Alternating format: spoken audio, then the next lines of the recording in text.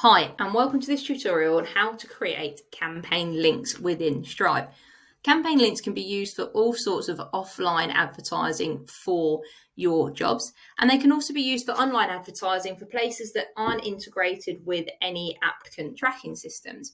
In order to create a campaign link, we simply select campaign at the top line menu from the dashboard here. Once we've selected that, we can then see all of our existing campaigns that are here and available. And if we wanted to, we could go into those campaigns, click copy, and we could then share that link on our appropriate channels. What we're going to do is quickly create a new unique campaign. So for example, if we wanted to do a TikTok campaign, I would press create campaign and I could call the campaign TikTok and say that that's the source we're going to be using. And this is our TikTok winter recruitment drive as a description. If we press create, that is our campaign now created.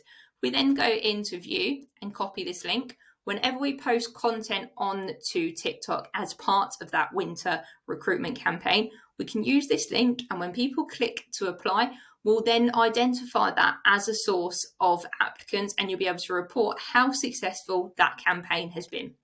Thank you for watching.